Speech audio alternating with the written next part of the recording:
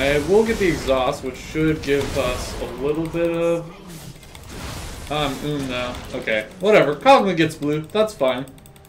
Again, not what I want to happen.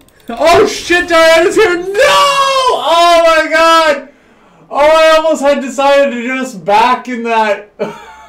back in that bush, but I wanted the lane minions! Oh my god! Why would she be there for that? Oh, disaster!